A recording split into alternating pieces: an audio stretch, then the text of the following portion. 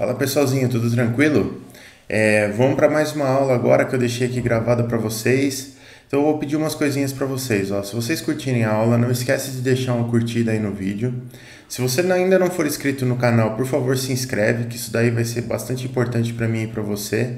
Se ativar as notificações, nota 10, melhor ainda. Se curtir muito o vídeo, posta, manda para os seus amigos, compartilha com seus amigos. E se você tiver alguma dúvida, alguma sugestão, por favor, joga aí nos comentários aí embaixo, que eu vou ter o maior prazer de responder para vocês e até gravar novos vídeos a respeito, beleza? Valeu, galera. Bora pro vídeo. Beleza. Na última aula, a gente estava resolvendo essa lista de exercícios aqui, que era uma lista de, de exercícios de revisão, né, de tudo que a gente já viu no semestre. E então, beleza. É... Então tá aqui, tem exercício 1 a gente já tinha feito, né? Que tinha que uh, trocar os vetores de base, basicamente. Eu dava eles para você na base 3 e você tinha que reescrevê-los na base 0. E aqui tinha a, as formas, né? As, as, o, o que, que acontecia até chegar na base 3. E a gente tinha que fazer a transformação inversa para chegar na base 0. Depois no exercício 2, a gente começou a ver a questão de frames né? E a ideia é que a gente observasse, é, observasse não, que a gente construísse esse vetor que está no frame 3, a gente, que a gente calculasse ele na base 0 e no frame 0. A transformação de base está aqui e é, o vetor origem do, do frame 3 está aqui.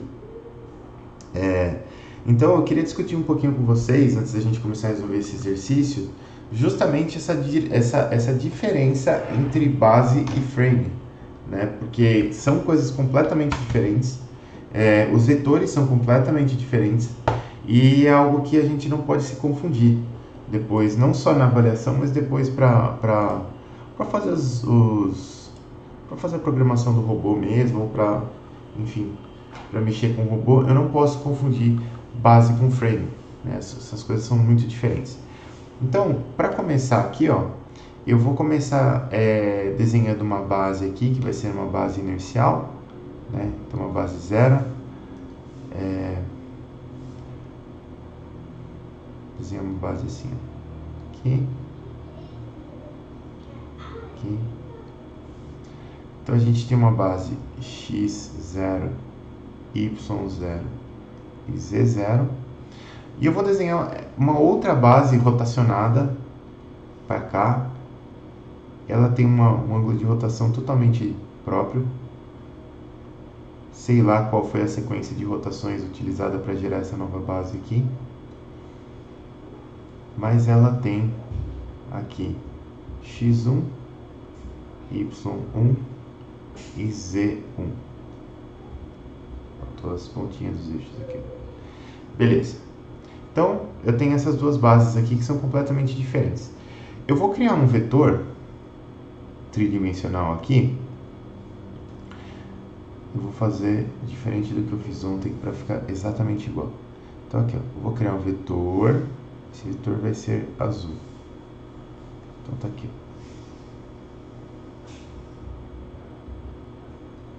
E esse vetor aqui será o meu vetor V certo?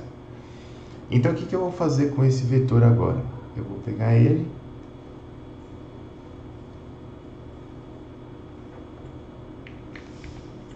vou copiar ele aqui, ó. Eu vou escrever ele aqui na base zero, assim, e eu vou escrever, opa, e eu vou escrever o mesmo vetor v na base 1. Aconteceu aqui.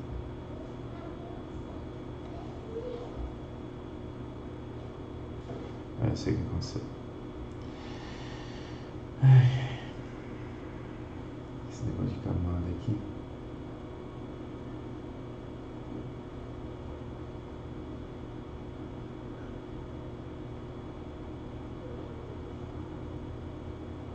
Deixa eu desfazer aqui o negócio, pessoal, rapidamente. Porque esse negócio aqui às vezes ele incomoda um pouco na hora de copiar e colar, ele faz umas estripulias que não são legais aqui.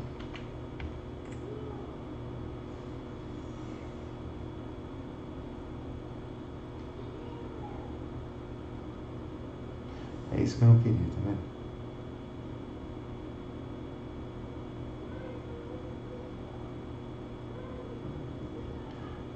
E não tem como dar um merge down nessa camada aqui. Tem sim. Oh, beleza. Agora funcionou. Tá. E esse vetor V aqui, eu vou escrever ele na base 1 também. Então tá aqui, ó. Certo? É, reparem algumas coisas aqui, ó. Repara que na base 0 é exatamente, na verdade, nas duas bases é exatamente o mesmo vetor. Né? Quando a gente fala de vetores em bases, a gente está dizendo que o vetor, esse, esse negócio aqui está me incomodando, esse V aqui está totalmente no lugar errado. Vamos refazer isso aqui. Mas quando a gente fala em vetores e bases, a gente sempre pressupõe que a base, que a, a basezinha aqui, né, a parte de trás do vetor, está sempre na origem da base que você está escrevendo ele, não importa o que aconteça.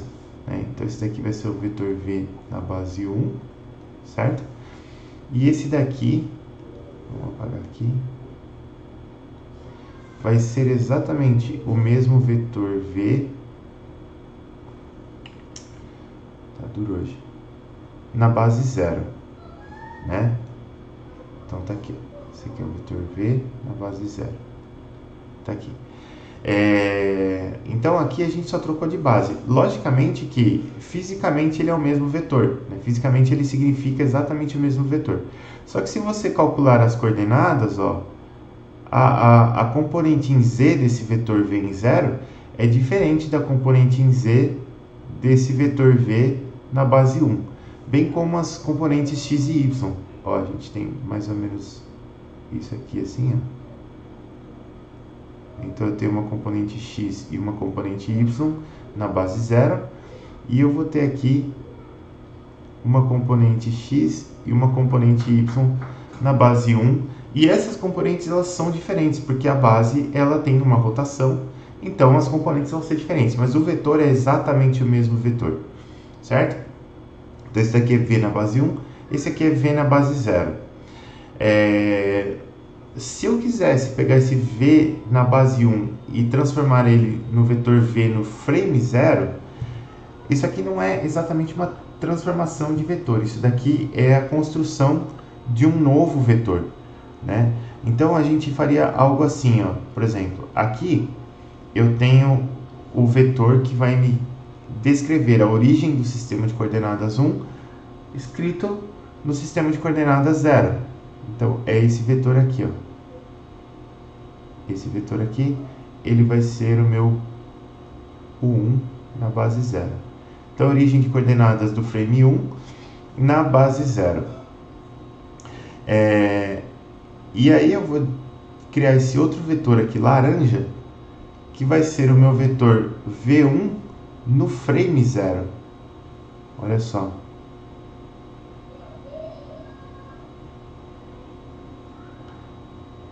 Esse vetor aqui, ele é o vetor. Vamos ver se eu consigo dar um nome legal para ele.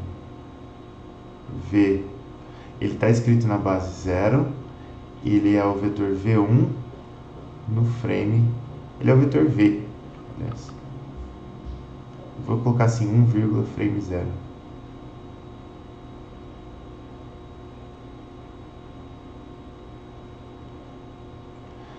Certo? Então, olha só, o vetor, esse aqui é o vetor v na base 1, esse aqui é o vetor v na base 0. Quando a gente fala só de bases, esse vetor cor-de-rosa aqui, que, que descreve a origem dessa, a posição da origem dessa base 1 aqui, ele não faz o mínimo sentido. Porque quando a gente fala de base, a gente fala só de rotação, não importa onde que está a outra base, não, não tem sentido. Porque quando a gente descreve um vetor em uma base, a gente descreve a posição da ponta dele em relação à origem daquela base. Então não importa onde que está aquela base, não faz um sentido a gente falar isso. Quando a gente fala de frame, a gente está adicionando uma informação. Eu sei agora um, qual é a orientação da base, como que esse vetor é descrito nessa base e eu sei a posição da origem dessa base em relação a uma outra base. Então, olha só, esse vetor V, que era o vetor V1 escrito no frame 0, ele é diferente desse vetor V aqui, ó, em qualquer uma das outras bases. Por quê? Porque no fundo ele é esse vetor V que estava escrito na base 1 aqui, mais o vetor que, que, que indica a posição da origem da base, 0, da base 1 aqui. Ó. Né? Ele é a soma desse vetor rosa com esse vetor azul aqui, dá o vetor laranja, ou amarelo esquisito, parece um laranja. Né? É... Então, então você tem que ter essa noção de que vetor na base 1 e vetor na base 0 é uma coisa. Vetor no frame 1 e vetor no frame 0 são vetores completamente diferentes. A coisa é completamente diferente. Tá? É, quando a gente fala de frame, a posição da origem da base passa a ser importante. Quando a gente fala só de base, a posição da origem da base é irrelevante. A gente só está falando de rotações. Agora sim, é... ah, e tem uma outra coisa importante também que a gente fazia, que era o seguinte, ó, a gente consegue descrever essa transformação aqui. Então essa transformação aqui ela era dada pelo seguinte, o vetor que era o vetor V1 escrito no frame 0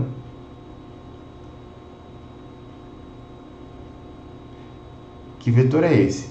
Ele é o vetor V na base 1 transportado para a base zero para você poder fazer a conta. Então, aqui, ó, que vai de 1 para 0, mais o vetor origem da base 1 escrito na base 0 também. Então tá aqui, ó. Essa é a transformação que a gente vai fazer. Eu vou deixar essa essa ou oh, essa é a transformação que é que a gente vai fazer no exercício, mas a gente já implementou, na verdade. Essa é a transformação que a gente vai fazer e a gente vai, é, eu quero mostrar para vocês algumas coisas interessantes que tem aqui com relação a essa transformação e com relação ao operador homogêneo. O que, que a gente fez na última aula? É, eu tenho o código aqui, eu, eu fiz algumas pequenas alterações nesse código para facilitar o nosso entendimento. Então aqui, ó, vamos até ler o enunciado de novo do exercício 2. Então, seja o frame f definido pela base B3 e pelo vetor de deslocamento da origem U0, então base B3 e U0, definidos por isso daqui. Uh, os vetores a seguir foram definidos no frame 3. Esses vetores aqui todos foram definidos no frame 3. Calcule as componentes desses vetores da base 0 e no frame 0 e explique suas diferenças. Então, beleza, a gente já sabe qual vai ser a diferença e a gente vai calcular esses vetores. O que a gente havia feito na última aula era pegar o vetor no frame 3, eu vou até deixar assim para a gente ver lado a lado aqui, ó.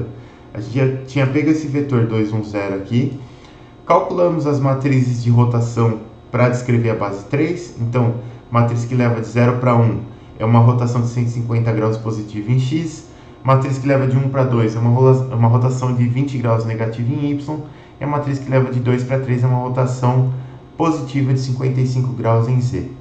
Beleza, a gente tem esse vetor U0 também, que é o vetor origem, tá aqui. É...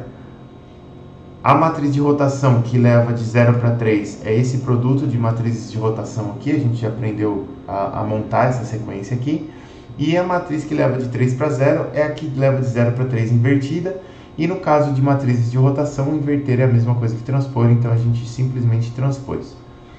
Depois aqui a gente criou o operador T30 e esse operador T30 é o operador que faz a transformação homogênea do frame 3 para o frame 0. Ele precisa da matriz de rotação que leva do frame 3 para o frame 0 e do vetor posição do frame 0, que está aqui. Né? Basicamente, são essas duas coisas aqui. Ó, né? Aqui a gente está trabalhando com a matriz de rotação que leva do frame 1 para o frame 0, porque aqui esse frame é 1, não 3, aqui precisa do 3, e depois o vetor origem escrito no frame 0 que está aqui também. Então a gente está fazendo a mesma coisa, só que a gente cria aquela matriz é, de transformação homogênea 4x4, né, que tem esta matriz de rotação, tem esse vetor aqui na, na última coluna, e a última linha é composta por três zeros e um 1 no final. Uh, então a gente criou essa, essa matriz, essa matriz é, de transformação homogênea. A gente transformou esse vetor que era o nosso vetor inicial, um vetor de quatro posições, com a nossa função cria vetor 4. Para quem não lembra, essa função aqui pega esse vetor de três posições e concatena um 1 lá no final. E aí a gente fez essa transformação, né? Então, se eu fizer a, a, a, multiplicação matricial do operador T30 com esse vetor com quatro posições, eu vou obter o vetor V no frame 0 e esse vetor aqui tem quatro posições. A gente havia feito até aqui na última aula e depois a gente fez essa segunda linha para comparar. Então esse V frame 0B, ele tem que dar a mesma coisa, só que a gente usou uma função que já construiu o vetor automaticamente. Né? Então você simplesmente passava o vetor que você queria é, transportar de frame, a matriz de rotação, o vetor origem e a função já calculava para você. Esses dois vetores aqui basicamente tem que dar iguais, a diferença entre eles é que um tem um, 1 com, um número 1 concatenado que eu ainda não tirei. Então, se a gente executar aqui, ó, vocês vão ver que é exatamente a mesma coisa. Olha só, os vetores 13.84, 3.74 e 7.94. E o vetor uh, que a gente usou a nossa função pronta para fazer dá exatamente o mesmo vetor, só não tem um umzinho aqui no final, porque nessa função a gente já tomou o cuidado de remover esse 1. O que, que eu vou fazer agora? A gente já calculou esse vetor aqui no frame zero, mas a gente não calculou ele na base zero. Calcular ele na base zero é muito fácil, né? porque o vetor v na base zero, ele é o vetor v do frame 3, que é a mesma coisa que o vetor v na base 3 aqui no caso. E esse vetor v aqui, eu vou fazer o produto escalar dele, é o produto escalar não, o produto matricial dele, com a minha matriz de rotação, que leva de 3 para 0. Beleza. E aí a gente vai imprimir esse cara aqui também. Então,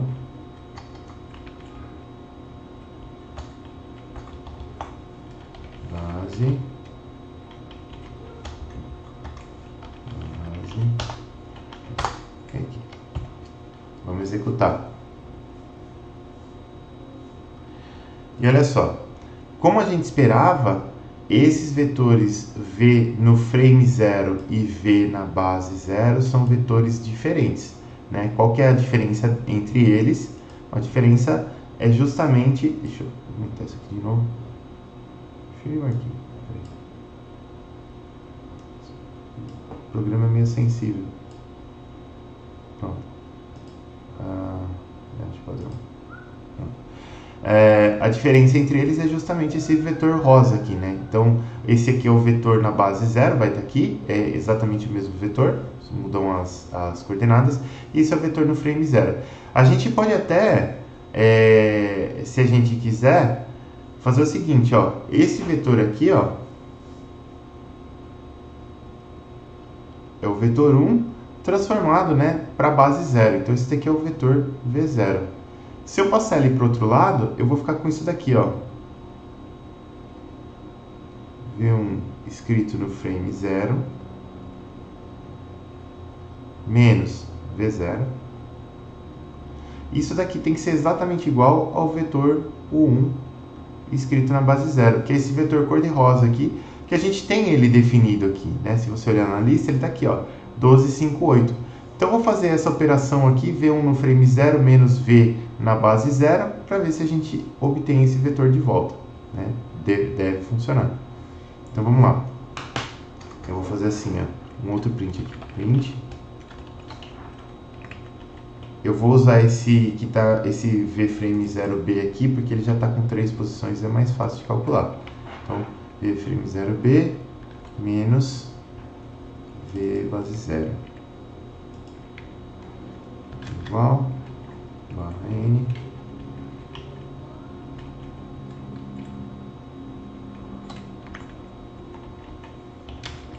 aqui.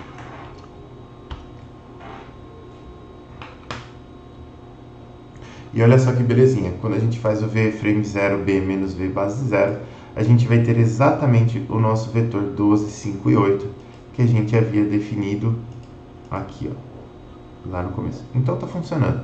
Né? E agora que o código está bem prontinho, a gente pode simplesmente trocar esse vetor v frame 3 aqui por qualquer outro da nossa, da nossa, do nosso enunciado aqui, que vai dar certo. Ó. Vou trocar por esse aqui, ó, 4, 1 e 7.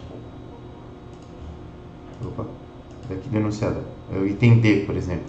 E executamos de novo. Opa, errei.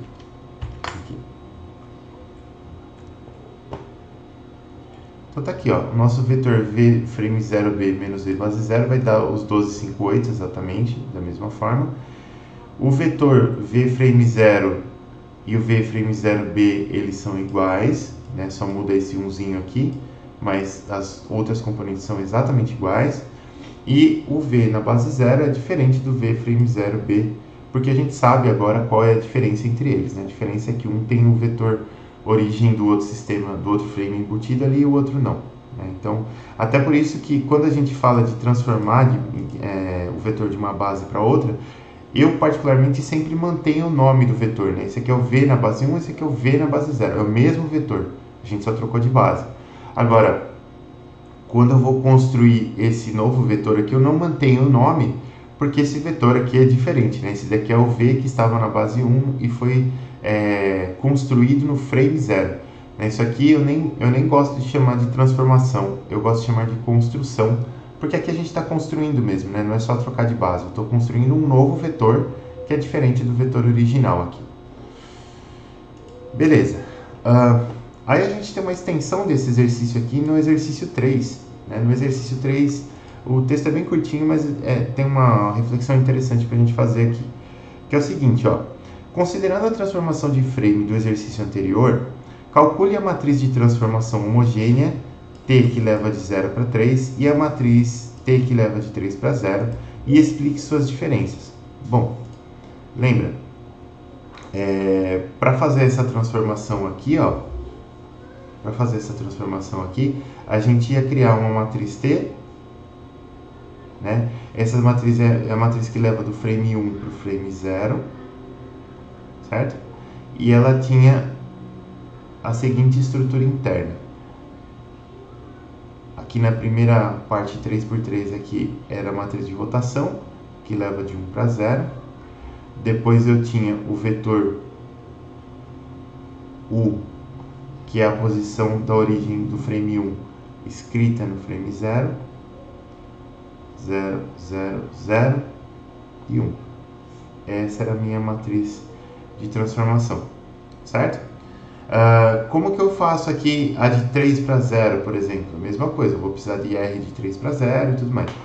E aqui, ó, no nosso, no nosso, na nossa RobPy, a gente já tem as funções prontas, inclusive só para construir o, o,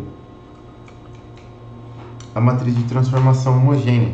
Então, o que, que eu vou fazer aqui? Ó? Eu vou tirar esses prints todos daqui agora porque a gente não precisa mais deles para o exercício 3.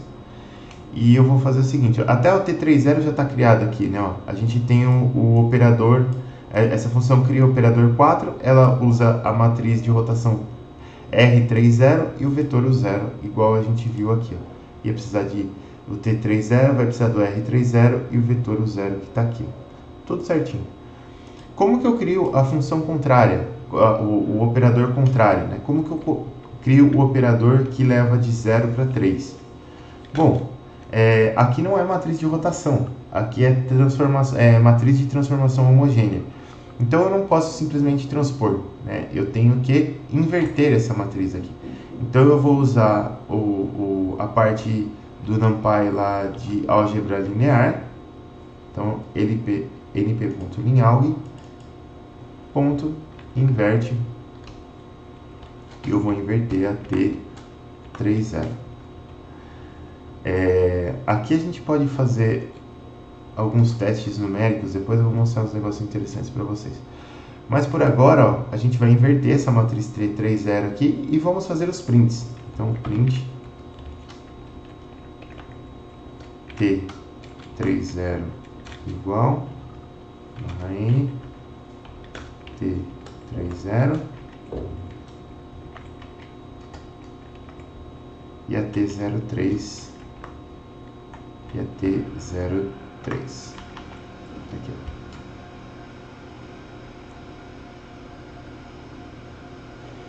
Estão aqui as minhas matrizes e ele pede para explicar as principais diferenças entre essas matrizes aqui. Vocês lembram que quando a gente tinha feito é, os operadores só de rotação e só de translação, as diferenças eram muito claras, né? Quando eu tinha um operador só de rotação, essa, essa parte 3x3 aqui era transposta dessa parte 3x3, e quando eu tinha um operador translacional, essa, esse vetor aqui, ó, que fica aqui, ele ficava exatamente com o sinal invertido aqui, ó. Até a gente pode brincar aqui de fazer um operador translacional. Eu vou criar uma linha aqui que vai fazer o seguinte, ó. R30 recebe np.i 3. É, então vou, eu vou criar uma matriz de rotação aqui, que ela é a matriz identidade. Né? Se ela é a matriz identidade, é, a gente não está fazendo rotação nenhuma. E esse operador aqui ele vai se transformar em um operador translacional apenas. Né? Então, se eu executo isso aqui, ó, olha só, meu 12, a, a matriz de rotação é identidade, né? não tem rotação, e o meu 1258 virou menos 12, menos 5 e menos 8, certo? A gente só trocou o sinal aqui.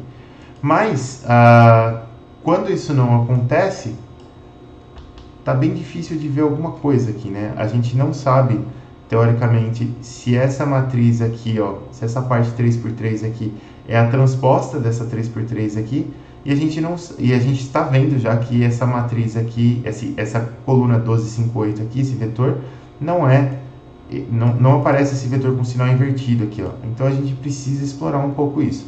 Primeiro eu quero testar se essa se essa 3x3 aqui a partir da T30 é a transposta da 3x3 a partir da 30 T03.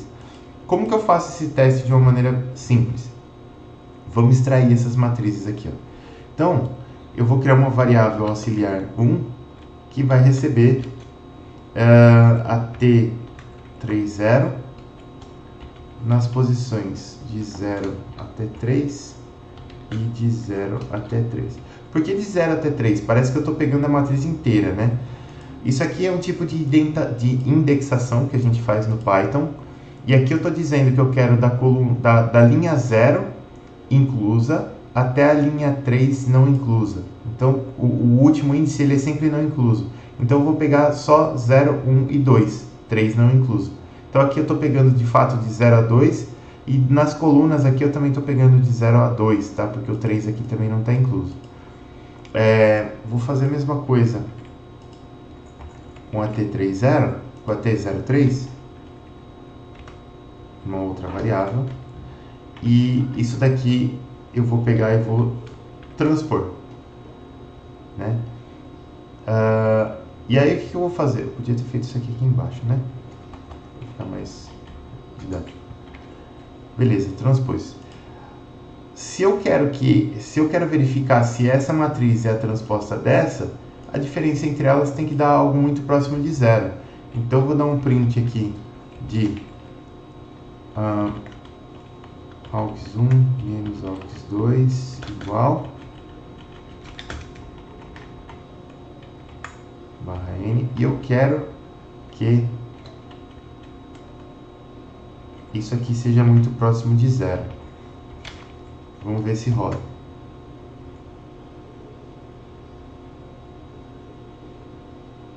Olha aqui, ó. Essa aqui é a diferença entre essas transpostas. Eu peguei só essas 3 por 3 aqui, transpus uma e subtraí uma da outra. Então aqui tem 0, 10 a menos 16, muito próximo de 0, 10 a menos 17, muito próximo de 0, 0, 0, 0, 10 a menos 17, 10 a menos 16 e 0. Então isso aqui é muito, muito próximo de 0, pessoal. Por que, que não é exatamente 0? Porque a gente tem alguns, algumas questões aí, né? Primeiro que eu estou fazendo as contas com funções trigonométricas e essas funções trigonométricas elas são calculadas de uma maneira aproximada, né? Porque não tem uma forma precisa de você calcular uma função trigonométrica a menos de que você tenha ângulos muito bem estudados e conhecidos. Né? Então essa, essa, essas funções seno, cosseno, tangente, elas são calculadas através de aproximações são aproximações excelentes, mas continuam sendo aproximações que têm lá sua precisão. É, e além disso, a, é, além de, dessas, dessas precisões, ainda a gente calculou uma inversa de uma matriz, e o cálculo da matriz inversa também é um processo numérico, sujeito a erros também. Então aqui a gente vai ter alguns errinhos de arredondamento e de precisão que vão causar com que os nossos números não sejam exatamente zeros aqui. Ó. Repara que quatro desses nove da matriz aqui não são zeros.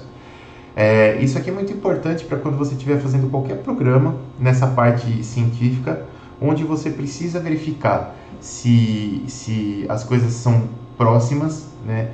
Porque você não pode verificar se elas são exatamente iguais, porque repara que elas não são iguais, né? Essas duas matrizes aqui, A1 e A2, que deveriam ser teoricamente iguais, elas têm erros numéricos. Isso é erro numérico, né? E esse erro numérico precisa ser levado em consideração na hora de você tratar se essas matrizes realmente são iguais ou não. Por isso que a gente trabalha com aquelas tolerâncias para saber se as coisas são iguais ou não, quando, quando é numérico, né? Então, isso aqui é legal para vocês saberem. Para o nosso objetivo aqui, a gente já sabe então que nos operadores, mesmo que o operador seja misto, misto que ele não seja puramente rotacional ou puramente translacional, essas matrizes 3x3 aqui, uma é transposta da outra mesmo assim. Então, beleza. Agora, o que, que aconteceu com essa coluna aqui? Ó? Né? Por que, que ela virou esses números aqui? Vamos lá para a parte analítica para a gente entender. Deixa eu só dar uma apagadinha aqui. Ó. Beleza? E se eu olhar aqui para essa transformação aqui, ó, eu posso querer inverter essa transformação. Né? Eu posso querer é, escrever esse vetor aqui 1 a partir de um vetor que está escrito no frame 0. Quer dizer, eu quero pegar esse vetor amarelo aqui e escrever esse azul de novo. Então eu preciso isolar esse vetor aqui basicamente. O que, que eu vou fazer? Eu vou passar esse é, vetor U aqui, que é a origem do sistema 1 escrito em 0, no, no, na base 0, eu vou, eu vou passar ele para o outro lado, né? Então eu vou ficar com V0, 1 frame 0, menos o 1 na base 0, e vou pré-multiplicar dos dois lados por essa matriz R01 invertida. Né? R01 invertida é igual a R01 transposta né? Isso aqui, ó. R01 transposta. Multiplico isso aqui, vai me dar o meu vetor V na base 1. Então, repara, a gente fez a transformação de volta, beleza? Só que o que, que aconteceu? Aqui, ó, quando eu for fazer essa multiplicação aqui, eu vou ter que aplicar a distributiva, né? E quando eu aplicar a distributiva, eu vou ter essa matriz aqui é, multiplicando esse vetor do frame aqui, igual a gente tinha antes, né? Igual aqui, ó. Mas eu também vou ter a matriz multiplicando o vetor origem do sistema de coordenadas com sinal trocado. Né? Então esse vetor aqui, ele vai, ele, além do sinal trocado, ele é pré-multiplicado pela matriz de rotação é, que leva, na verdade, aqui é errei. Incrível como a cabeça da gente funciona. Eu cometi exatamente o mesmo erro ontem, na aula de ontem aqui, ó. É R. Este, esse é novo. Esse foi só novo. R de 1 para 0. De 1 para 0. Assim. Né? Que a gente passou para lá, transpôs, beleza. É, então aqui, ó, esse vetor origem aqui, ele também vai ser pré-multiplicado por isso daqui, ó. Então se a gente é, agora calcular esse vetor aqui, ó, menos vetor origem que multiplica R uh, 3, 0 transposto, vamos ver o que, que dá. Vou fazer já o print direto do vetor origem, opa, o 0, com o sinal trocado, pré-multiplicado pela matriz R30 transposta. E a gente vai fazer o print disso aqui.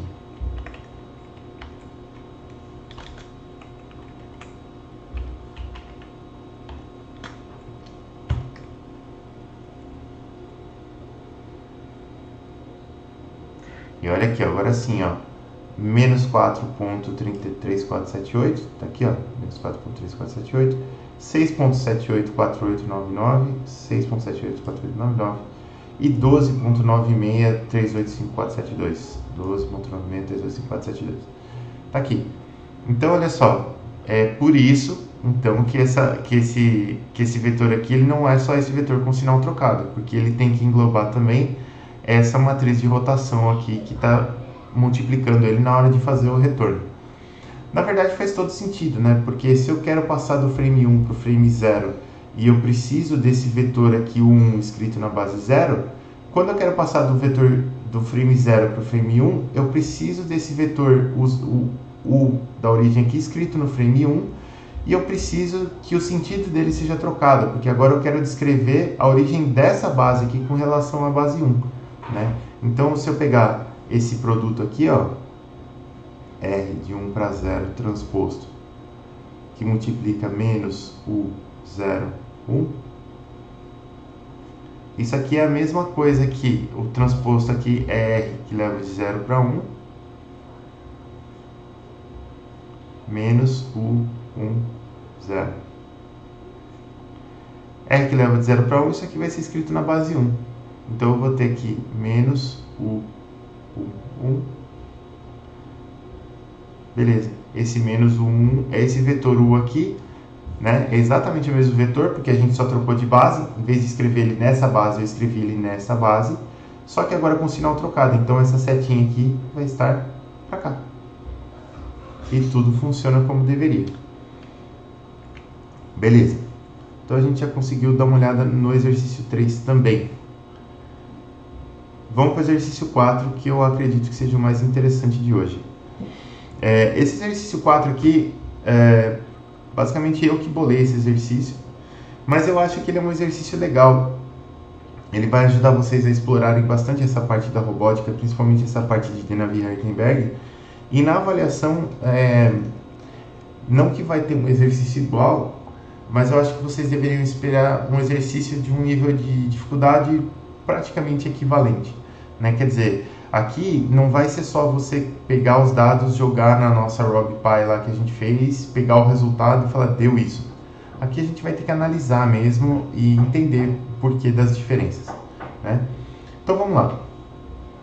Ó, eu tenho um braço robótico plano aqui, né? Então isso aqui tudo pertence a esse plano XY aqui. E ele tem duas, duas juntas revolutas aqui. E essas juntas revolutas, o eixo delas está saindo da tela, né? São paralelos ao Z aqui. Então o eixo das duas está saindo da tela.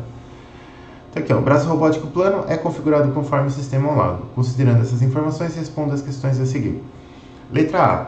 Considerando os eixos das juntas JR1 e JR2 paralelos ao eixo Z e apontando em seu sentido positivo, calcule o comprimento do link que liga as duas juntas. Então, beleza, né? eu tenho uma retinha saindo daqui, outra retinha saindo daqui, e eu quero calcular o comprimento do link que liga essas duas juntas aí. Então, eu vou fazer o quê? Eu vou tirar o print desse cara aqui,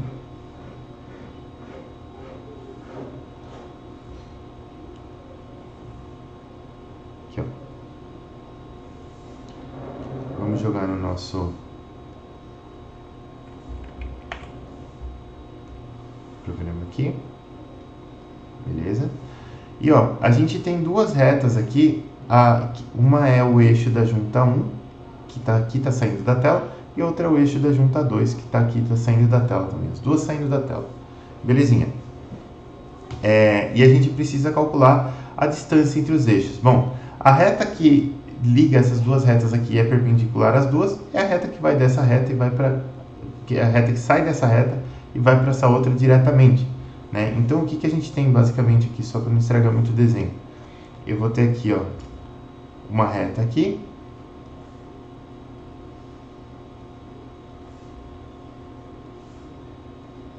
outra reta mais ou menos aqui assim.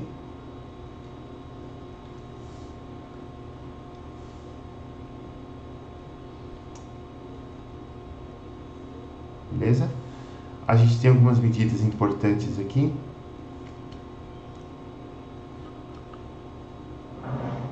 Então, daqui para cá, a gente tem 400 milímetros. Eu vou fazer tudo em milímetros mesmo. Daqui para cá, a gente tem mais 150 milímetros. Aqui. Esse ângulo aqui é de 50 graus. Ah, e beleza, eu preciso calcular a distância entre essas duas retas aqui. Como que eu posso calcular essa, essa distância? Bom, simplesinho, né? No caso aqui, a distância entre dois pontos, que é essa reta azul aqui, ó. Eu vou fazer aqui, ó.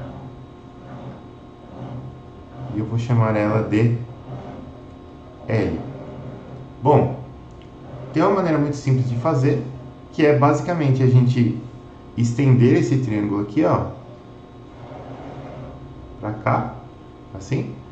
E aí a gente, né, como esse ângulo aqui é de 90 graus, a gente pode usar o teorema de Pitágoras aí rapidamente.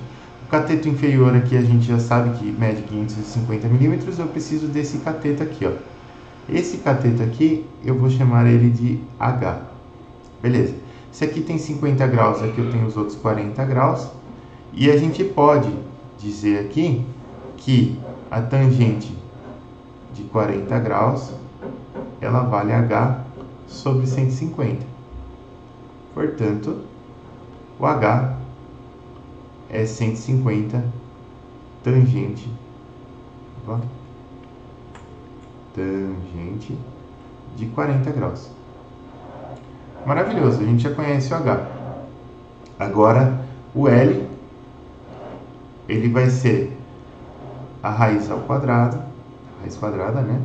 De 550 ao quadrado, mais 150 tangente de 40 ao quadrado.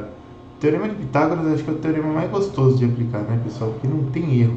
O negócio vai gostoso. Se você fizer essa continha aqui, e quando você for fazer essa conta, tome extremo cuidado para que a sua calculadora esteja trabalhando em graus, tá? É... Na calculadora, nas calculadoras normais, por exemplo, você tem três modos de trabalho. Você tem o D, você tem o R e você tem o G. D, esse D aqui vai ser para graus, que vem do inglês, que é degrees. R vai ser em radianos e o G é em grados. Opa! Tem gente que confunde graus com grados, tá? Aqui, é, uma volta tem 360 graus, é, uma volta tem 2 pi radianos e uma volta tem 400 graus. Tá? Não sei quem usa isso, mas tem na calculadora. Então tomem cuidado de deixar sempre a sua calculadora nesse modo aqui se você for fazer contas em graus, tá? Se for fazer em radiano, tem que deixar em radiano, senão dá problema. Aí depois, se alguém tiver problema para mexer na configuração da calculadora, não souber fazer isso aqui, depois a gente pode conversar para que vocês ah, configurem a calculadora de vocês corretamente. Mas eu vou falar para vocês já que não é nem por ser engenheiro de computação. Engenheiro, qualquer tipo de engenheiro tem que ser expert em mexer em tudo que está na calculadora, né? Ah, então, ainda mais vocês que, estão, que são da computação, aí vocês vão ser os requisitados mesmo, pessoal. Então, saibam fazer isso daí. Aqui a gente vai ter, então, 550 ao quadrado, mais 150, 150 tangente de 40 ao quadrado, tira a raiz disso aqui, e teremos 564,218 aproximado milímetros. Beleza, essa é a nossa distância L aqui, ó, certo? Uh, eu poderia ter feito isso daqui utilizando a RobPy? Poderia também, inclusive a gente vai fazer para verificar os resultados. Para fazer isso aqui utilizando a RobPy, a gente vai precisar definir os vetores que definem essas retas aqui. Ó. Então lembra que uma reta, a equação da reta que a gente estava usando é essa daqui. Ó. Um ponto P na minha reta, ele vai ser igual a um ponto de referência em qualquer ponto dessa reta aqui, que a gente chamou de PO, mais um parâmetro t que multiplica o vetor de inclinação da reta vs. Então essa essa aqui é a equação da reta que a gente tinha que a gente está utilizando. Uh, aqui para descrever essas retas aqui, ó, eu tenho a reta 1 aqui na junta 1 e a reta 2 na junta 2. Beleza. O que, que vai acontecer aqui? Para fazer esse exercício aqui, eu vou imaginar que eu tenho um sistema de coordenadas cuja origem está aqui na, na, no 1. Então, meu vetor posição da reta 1, que é o nosso PO1, ele vai ser exatamente o vetor 0, 0, 0. Beleza. Depois o vetor posição na reta 2, eu vou escolher um vetor nesse plano aqui, porque é muito fácil definir ele, né? E nesse plano aqui, o que, que a gente vai ter? Lembra, eu vou ter x para cá e eu vou ter y para cima. Então, em x eu vou ter 550, em y eu vou ter 150 tangente de 40, em z a gente vai ter zero, né? E aí os vetores de inclinação dessas retas aqui, ó, eles vão ser iguais. Lembra que eles têm que ter tamanho 1 e aqui eles estão apontando na direção de z positivo. Então só nos resta isso aqui, né? 0 em x e y e 1 em z. Então esses vetores aqui vão definir essas duas retas aqui. E aí a gente vai lá na RobPy e calcular a distância entre as retas. Então olha só que coisa legal. Uh, vamos pegar aqui, fecha. Daqui para baixo a gente pode apagar tudo. E vamos fazer lá, ó. Vetor PO1, ou é, PO1, tá certo? Ele vai ser a rob.cria vetor 3 0, 0, 0 igual a gente havia definido aqui, ó, P1, 0, 0, 0 PO2, 550, 150 tangente 40 e 0 PO2 dá um trabalhinho para criar, PO2 rob.cria vetor 3 a primeira coordenada é tranquilo, 550, a segunda dá um pouquinho mais de trabalho, que é 150, que multiplica a tangente, np.tangente, de 40 graus, que são 40 vezes π sobre 180 radianos. Aqui precisaria ser np.π, né? Só que como a gente vai usar o π o programa todo, vamos criar um pouquinho de conforto aqui para nós e vamos fazer assim, ó, π recebe np.π. Pronto. Agora isso aqui, agora a gente pode usar o pi só assim fica muito mais confortável de trabalhar. Talvez isso aqui seja uma herança minha do MATLAB. No MATLAB, se você não fizer nada e digitar pi, ele, ele retorna o valor de pi para você. Então, mas é muito fácil trabalhar assim, muito mais fácil do que ficar digitando np.pi toda hora. Pelo menos para mim que sou limitado. Então vamos lá. Os vetores VS1 e VS2, eles são é, os vetores 001. Então eu tenho a rob.cria vetor 3 a 0, 0 e 1. Beleza. É, só para vocês saberem, no Python você pode fazer isso aqui, ó. VS1 e VS2 serem esse cara aqui. É, tem que tomar um pouco de cuidado com aquelas questões de shallow copy e deep copy para não dar problema. Né? Então eu gosto de fazer em linhas separadas, mas você, se você souber exatamente o que você está fazendo, você pode fazer em linhas na mesma linha. Vamos. Ô, professor, esse, o shallow copy e o deep copy é como se fosse o ponteiro do C. C o, o, shallow copy, o shallow copy você a variável recebe um ponteiro para o endereço de memória, é isso? Isso, é mais ou menos isso. Quer ver? Ó, vamos fazer aqui rapidamente para você ver. Vamos fazer assim, ó, VS1, VS2, recebe rob.cria vetor 3. Se eu der os prints, aqui, ó, print VS1 e do lado eu vou fazer o VS2. Você vai ver que eles são iguais em valor, né? Quando eu acessar eles assim, ó, foi legal. Oh, Jesus, fecha aqui. Vamos fazer os pins separados desse 1, print, ds2, beleza. Quando eu fizer os prints aqui, você vai ver que eles têm exatamente o mesmo valor. Tá dando um erro aqui. Cria vetor 3, cria vetor 3. Ah, faltou colocar o zero aqui. Não era aquilo. Aqui, ó. Eles têm exatamente o mesmo valor. Lá em C, se você fizesse isso aqui, ó, você acessava o, o, o endereço que estava no ponteiro. Aqui no Python você não tem como fazer isso. Né? Você não, não, não tem como saber é, exatamente o, endereço, ficar brincando com o endereço, sabe? Só trocar endereço de variável. Aqui a gente realmente tem que acessar o valor, né? Você só, só, só é permitido você acessar o valor. Mas é, no Python, inclusive, você tem um comando que é um, um comparador que é o is, né? Então, se eu fizer isso aqui, ó,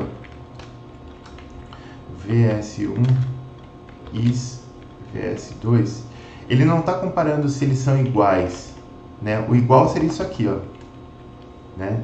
Então, se eu, aqui eu estou comparando posição a posição se eles são iguais, ó, e eles são iguais nas três posições. É, o is ele vai fazer isso aqui, ó, ele vai comparar os endereços de memória para saber se esses dois aqui, ó, VS1 e VS2, esses dois ponteiros, ele quer saber se eles apontam para o mesmo endereço da memória. E ó, aqui eles apontam, ó, certo? Eles apontam para o mesmo endereço. Então, é, provavelmente se eu alterar alguma coisa em V2, vamos fazer assim, ó, VS2, ah, linha 2, coluna 0, recebe 4, por exemplo não precisa de ponto e vírgula. Aí eu vou dar um print de novo. VS1 e print no VS2. Você vai ver que os dois vão ser alterados, né? Por causa daquela questão do deep copy e shallow copy lá. Não, o VS1 passou a ser 004, bem como o VS2, né? Uh, no, da mesma forma, se eu fizer isso aqui, ó, se eu fizer exatamente a mesma coisa, só que em duas linhas diferentes, DS2. Você vai ver que os testes estão totalmente diferentes agora. Ó, porque aqui, ó, o meu primeiro print é para saber se VS1 e VS2 apontam para a mesma posição de memória. Eles não apontam, ó, false. Aí eu mudei uma posição do VS2 e aí eu dei o print no VS1 e no VS2. Ó, eles são diferentes, eu só alterei o VS2 aqui. Então tem que tomar muito cuidado quando for fazer isso, essa, essa, essa operação aqui, porque se eu for fazer assim, ó, é, tomara que eu não tenha que alterar só um dos vetores, porque eu vou acabar alterando os dois, né? Ao ponto que se eu fizer em duas linhas separadas, eu posso alterar os dois livremente sem me preocupar se um vai alterar o outro. Ficou mais claro assim? Ficou, professor. Beleza? Então, beleza. Aqui, ó. Então, é, criei os vetores. Vamos lá fazer, o, já vou fazer o print direto da hobby ponto distância entre retas. E aqui a gente tem PO1, VS1, PO2, VS2, igual a gente definiu lá. E se eu calcular essa distância entre as retas, eu vou obter os nossos 564.218.029, tal, tal, tal, que é exatamente o que a gente obteve aqui, ó, 564.218. Tinha mais uns quebradinhos na calculadora que eu não copiei aqui, mas dá exatamente a mesma coisa. Então, beleza. Esse era o item A. Né? Uh, item B. Uh, devido a uma adaptação de projeto, decidiu-se por alterar a orientação do eixo da junta JR2. Então, esse eixo aqui, dessa junta aqui, vai ser alterado. Partindo do eixo original, que é esse eixo aqui que aponta em Z para cima, propõe-se uma rotação de menos 30 graus em torno do eixo x'. Então aqui, ó, eu tenho esse eixo x' aqui, auxiliar, que eu defini para cá, que vai fazer uma rotação de menos 30 graus em, na, na, direção de, de x'. Então você tem que apontar o dedão na direção contrária de x', porque a rotação é de menos 30 graus, e aí você vai saber para que lado que a gente está fazendo essa rotação. Né? Uh, Neste caso, calcule o comprimento desse link e o seu ângulo de torção. Então vamos fazer. Aqui eu vou optar por fazer primeiro na RobPy e depois a gente vai rabiscar para ver o que acontece. Aqui, ó, eu preciso redefinir esse vetor VS2 aqui, porque ele não é mais esse vetor aqui. Como que eu defino ele? Eu vou definir assim, ó. Aqui a gente está falando da rotação de menos 30 graus em torno do x', mas eu preciso definir uma segunda rotação para definir o x' primeiro. Né? Então, partindo dessa base zero aqui, ó, a gente faz uma rotação em Z positiva, né? o Z está saindo da tela. Se você apontar o dedão na direção de Z, a gente, você vê que você vai fazer uma rotação positiva em Z a partir daqui, ó. É, opa, a partir daqui, ó. A gente vai fazer uma rotação para cá. E essa rotação aqui, ó, aqui tem 50 graus marcado. Então a rotação que aconteceu aqui de verdade não foi de 50 graus, foi essa de 40 graus aqui embaixo. Né? Eu fiz essa rotação de 40 graus em torno de Z. Então eu tenho a base zero aqui. Eu vou fazer uh, em torno de Z uma rotação de 40 graus. Eu vou para uma base 1. Essa basezinha aqui é a minha base 1. Eu vou chamar ela de B' para combinar aqui com X' e Y'. E depois eu vou para a nova base através de uma rotação de menos 30 graus em torno do eixo X. Então, X menos 30, eu vou para essa base aqui que eu vou chamar de 2. Beleza. Então, agora eu preciso definir essa base linha aqui, eu também vou deixar um umzinho aqui para ficar fácil de programar. Eu preciso definir esse vetor z lá na base 2, né, que vai ser o, o vetor, o eixo dessa, dessa junta aqui lá na direção z, só que na base 2, e transportar ele para a base 0 de volta para eu obter o meu VS1 aqui. Então, vamos definir essas matrizes de rotação.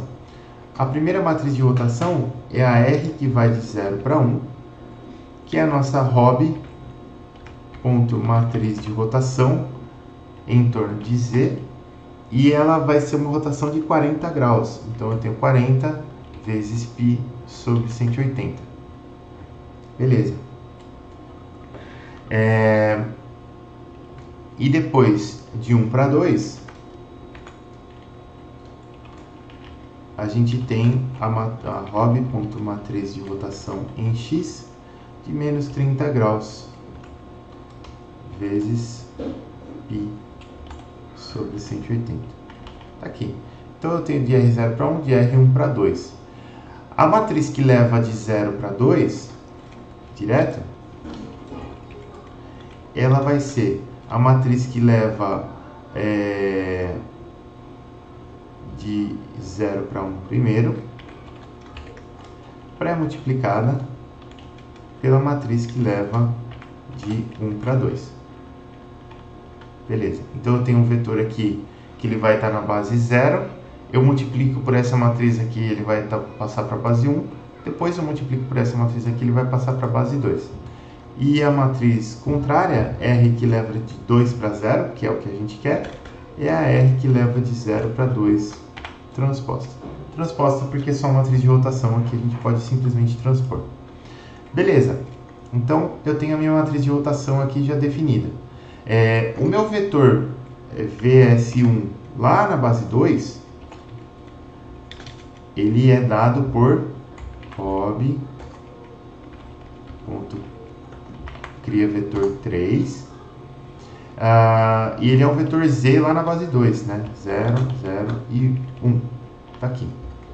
Agora eu quero passar quero calcular ele na base 0 que vai ser só o meu VS1 e o meu VS1 vai ser o R 2, 0, que multiplica, multiplicação matricial, a minha matriz, a minha, meu vetor VS1 na base 2.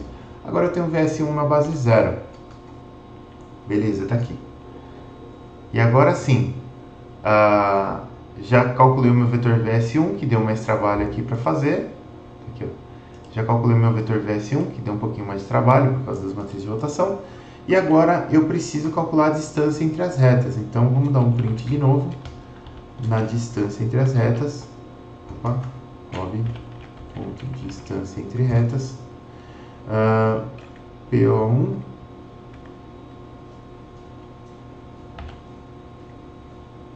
VS1, aqui não, não é porque é o VS2, né? 2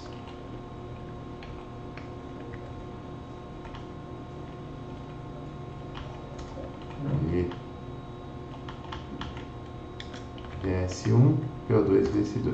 Tá aqui. É o VS2 que eu estava alterando, não o VS1. Quando eu executar isso daqui, vamos ver a distância entre as retas se mudou. deu 502.228 contra os nossos 564.218. Então realmente a distância entre as retas aqui mudou. E aí a pergunta lá é a seguinte, ó, é, calcule o comprimento desse link e calcule o seu ângulo de torção também. A gente já tem uma função que calcula o ângulo de torção entre os dois links, que é essa daqui, ó. Print. Vamos fazer assim então.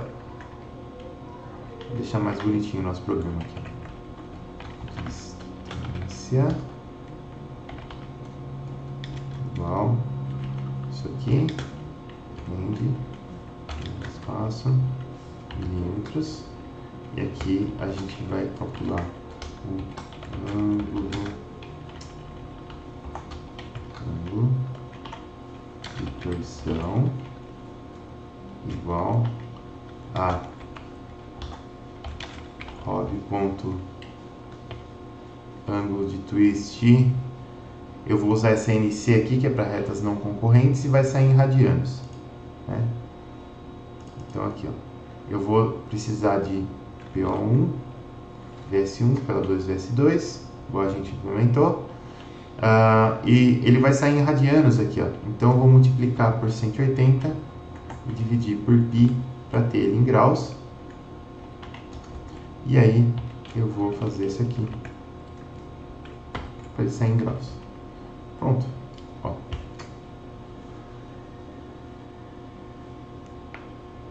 Então a nossa distância é de 15,2.2288 milímetros e o ângulo de torção é de menos quase 30 graus.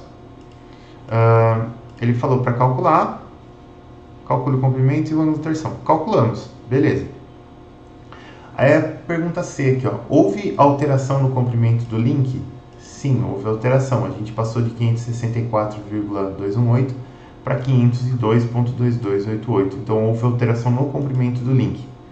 É... Seguindo. E nas dimensões da peça física que representa esse link? Aqui não, né? Só teve uma, uma inclinação desse, dessa reta aqui, dessa essa junta aqui para o lado, mas essa peça física aqui continua exatamente do mesmo tamanho, não mudou absolutamente nada, só mudou a inclinação aqui no final. É... Aí a pergunta, como você explica este resultado? É... Esse resultado a gente explica assim, ó. Por que, que, por que, que, não, por que, que a, o comprimento físico da peça não mudou, mas o comprimento do link mudou? Porque o comprimento do link, ele não representa nenhuma peça física do robô. O comprimento do link, ele é só a distância entre os eixos das juntas. Ele não representa o comprimento de nenhuma peça física. Inclusive, eu posso ter peças físicas com dimensões reais e podem ser até grandes, e a distância do link que aquela peça física gera é zero. Né? É só ele gerar dois, dois eixos de junta que sejam concorrentes a distância entre as retas vai ser zero, né?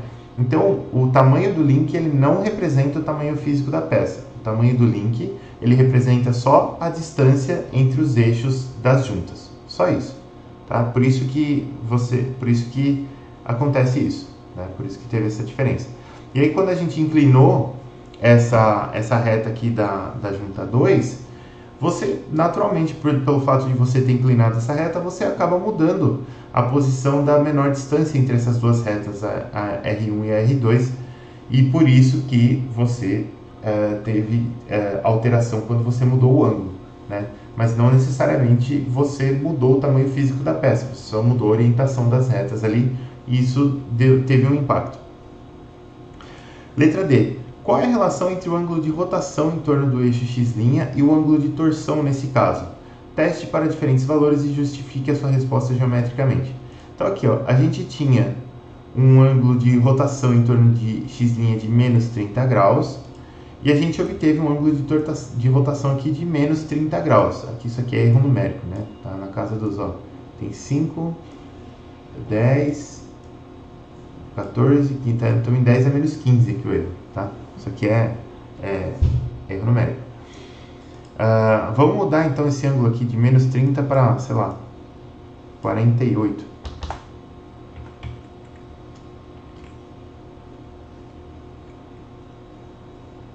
Beleza? O ângulo de torção aqui deu 48 graus. Vamos mudar para 67 graus. Beleza, o ângulo de torção deu 67 graus. Vamos mudar para menos 86 graus. Beleza, o ângulo de torção deu menos 86 graus. Quer dizer, vai dar sempre igual. Né? Uh, e por que, que isso está dando sempre igual né? Uh, quando eu faço as rotações aqui? Se eu olhar geometricamente, eu vou ter essa reta 1 aqui, agora vamos desenhar ela sob outra perspectiva. Eu vou ter a reta 1 aqui vertical para cima, assim, bonitinha. Aí eu vou ter o meu braço robótico na horizontal aqui, né? Então ele está no plano XY aqui, vamos ver se eu consigo desenhar ele de alguma maneira aqui. ele está aqui assim, ó.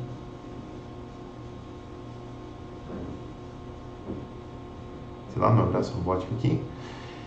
E eu vou ter aqui uma outra reta com uma inclinação diferente aqui, ó. Né? A inclinação que a gente fez está mais ou menos assim, ó.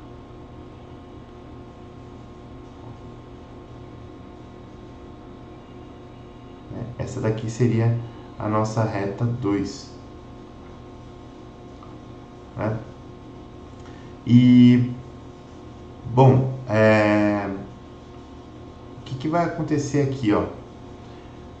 Repara que quando eu fiz essa inclinação dessa reta 2 aqui, eu fiz essa inclinação a partir de uma reta aqui que estava na vertical, ó, certo? Aqui a gente girou os nossos 30 graus para cá. Essa é uma parte da justificativa. Então, eu girei aqui a partir de uma reta que estava na vertical. Uh, então, essa reta 2 aqui, ela vai ter um vetor inclinação aqui, ó. Vou fazer de azul, vai ser de azul, né? Ela vai ter um vetor inclinação aqui, ó. Vou colocar aqui, ó.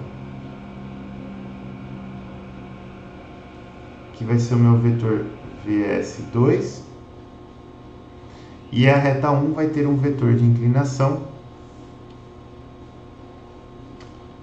que eu vou chamar de VS1, certo?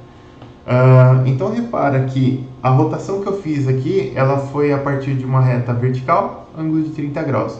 Agora eu vou calcular o ângulo de twist fazendo a, calculando o ângulo entre a reta VS2 e a reta VS1 que também é vertical. Ou seja, esse ângulo aqui ele vai dar igual porque eu, basicamente eu estou comparando o ângulo da reta 2 com uma reta paralela à reta original aqui, né? Da, que estava aqui antes da rotação. Então esse ângulo sempre vai dar a mesma coisa, não importa o que eu faça. Apesar de que você olha aqui e fala, não, mas está meio desgueio, assim, parece que vai dar diferente, mas não. O ângulo ele, de, de torção ele vai dar exatamente a mesma coisa. Aqui não vai mudar. É... Aí, beleza. Aí o que, vai acontecer? É... Acho que a gente. Deixa eu ver aqui. Essa, esse era o item D. Aí a gente vai para o item E. O que aconteceria com o comprimento do link caso a rotação em torno de x' fosse de qualquer outro valor? Justifique sua resposta geometricamente. Essa daqui talvez é a questão mais legal. É, vamos testar primeiro. Aqui a gente ó, fez menos 86 graus e eu tenho os 502.2288 aqui. Se eu fizer menos 5 graus,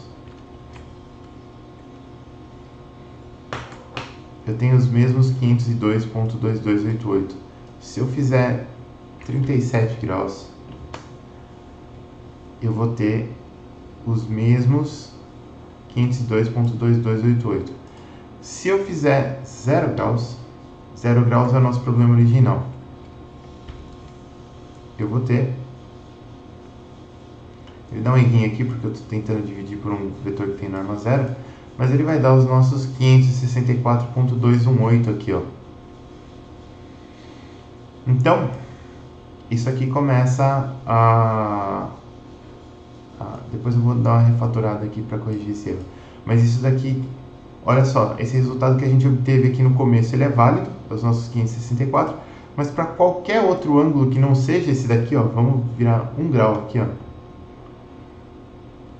Eu já tenho o, o tal do é que aqui ele está considerando paralelo. Esse 1 grau aqui foi muito pouca rotação. É, é que eu mexi no errado também, né? Aqui, ó. 1 grau. Que eu tenha virado 1 grau, aqui ó, ele já vai para o 502.2288. O que é que está acontecendo nesse negócio? Vamos explorar isso aqui. O que está acontecendo é o seguinte, ó. Eu vou dar uma apagadinha em algumas coisas aqui para a gente criar espaço para poder trabalhar. Então, apaga isso aqui, apaga isso aqui. Isso aqui também não precisa mais.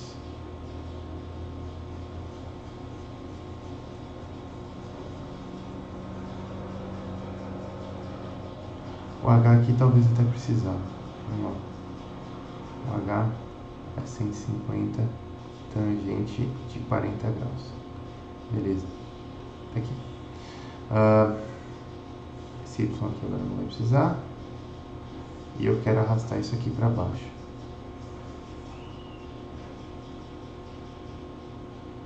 Assim. Beleza. Então o que é que a gente está fazendo? a gente está rotacionando essa reta 2 aqui que está saindo da tela.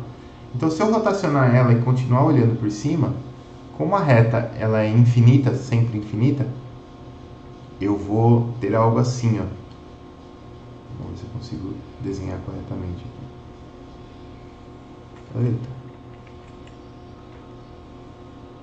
Vai fazer um puta suspense e não usa a ferramenta. Vou ter algo mais ou menos assim, ó tá? É, então essa reta aqui 2 agora ela está rotacionada, mesmo que o ângulo tenha sido muito pequeno aqui, a reta é infinita e a gente está olhando por cima. Então a gente vai ter isso aqui, ó. E agora a distância entre o ponto 1 e essa reta aqui, entre essa reta 1 e essa reta daqui, ó, ela é essa linha que eu vou desenhar de cor de rosa aqui, ó. E ela deve ser perpendicular a essa reta. Certo? Essa linha aqui. Essa é a nossa nova distância entre a reta 1 e a reta 2. E repara que essa distância aqui, eu vou chamar ela de x. Tá aqui. Como que eu calculo essa distância aqui? Ó? Bom, eu sei que essa reta aqui, ela é, é como, como essa reta aqui de baixo, ó, ela tem 90 graus aqui com a reta 2 aqui também, eu sei que essa reta aqui, essas duas retas, elas são paralelas. Então, se aqui eu tenho 40 graus, aqui eu também tenho 40 graus, né? Então, se eu tiver esse, o comprimento desse segmento aqui, que agora passou a ser a hipotenusa desse triângulo maior, com o cosseno eu consigo calcular esse x aqui, ó, né? Eu já tenho 550 aqui, eu só preciso, né, vamos esticar retinho aqui, ó. Eu só preciso do comprimento deste segmento aqui, que eu vou chamar de y, certo? Então aqui eu tenho 40 graus, 90, aqui eu tenho 50 graus, aqui eu tenho 90 também, então aqui eu tenho 40 graus, 90 e aqui eu tenho 50 graus. Beleza. Se eu olhar para esse triângulo aqui, até o H a gente já tem calculado aqui, né? O H já está aqui, ó. Se eu olhar para esse triângulo aqui, ó, eu sei que a tangente de 50 graus ela é H dividido por Y. É o cateto oposto sobre o adjacente. Né? E o H eu já tenho, eu quero calcular o Y. Então o Y ele é H sobre tangente de 50, que ele é, o H está aqui, ó, 150 tangente de 40. 150 tangente de 40 graus por tangente, opa, de 50 graus. Beleza. Né? Então agora a gente já sabe o comprimento dessa retona toda aqui, ó. Essa retona toda aqui. Uh, esse comprimento aqui eu vou chamar de A. E ele vale 150 tangente de 40 dividido por tangente de 50 mais 550 665 0,61 milímetros. Tá aqui. Agora a gente sabe que o cosseno de 40 graus ele é opa, o cateto adjacente sobre a hipotenusa. Então passo a hipotenusa para lá, x é igual a cosseno de 40 graus, que é igual a 502 vírgula dois dois oito oito sete zero milímetros aproximadamente. Então tá aqui. É, eu tenho um comentário sobre precisão, mas eu vou fazer bem no finalzinho, porque é interessante, mas não tem muito a ver com. É, então olha só, para qualquer ângulo que eu colocar aqui, ó, a minha nova distância entre a reta 1 e a reta 2 não vai mais ser essa distância L aqui, ó. Ela vai ser essa distância X, que é de 502.2288706, que é tcharam, exatamente o que a gente obteve aqui, ó. 502.2288706 e mais um monte de quebrado que minha calculadora nem deu.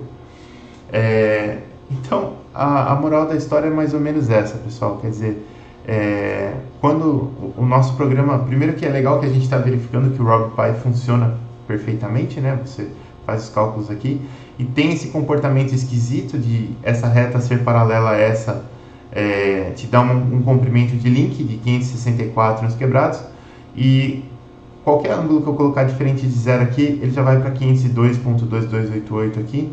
Então é, é algo que a gente tem que considerar. É, e basicamente é isso, pessoal. É, é isso que eu queria mostrar para vocês hoje. Quer dizer, a gente tem algumas diferenças aqui, tem algumas coisas diferentes que vão acontecer aqui, e essas coisas diferentes elas, elas se justificam, né? elas não acontecem do nada. É, esse exercício aqui, tudo bem que fui eu mesmo que bolei, mas eu acho que é um exercício muito legal. Né? Então, se fosse vocês, davam uma estudada, davam uma aprofundada, é, tentaria refazer com calma é, porque vocês viram que ele, ele tem solução analítica, não é só jogar lá no RobPy para obter o resultado.